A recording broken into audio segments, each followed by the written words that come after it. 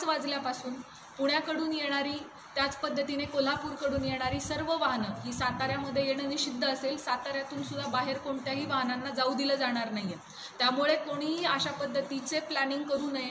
पा तीन वाजल्यापासून पुण्याकडून येणारी वाहतूक ही बंद झालेली आहे. त्यामुळे ट्रान्झिटमध्ये असलेले जे सातारकर असतील ते पाच वाजेपर्यंत पोहोचणं अपेक्षित आहे. त्यानंतर मात्र कोणालाही आपल्याला डिस्ट्रिक्टमध्ये आपण वाहन अलाव करणार नाही आणि तसंच बाहेर पण अलाव करणार नाही.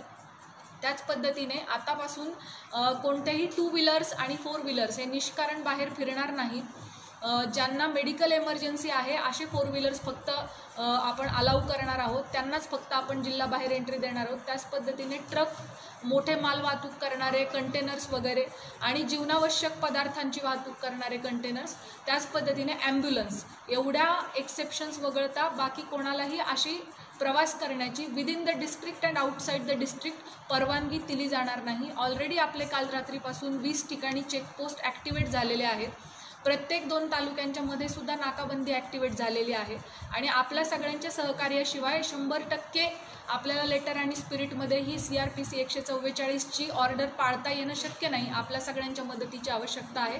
आपण सगळे एकत्र येऊया आपण घरात राहूया सुरक्षित राहूया आपल्या कुटुंबाला सुरक्षित ठेवूया आणि आपल्या देशाला सुरक्षित ठेवूया.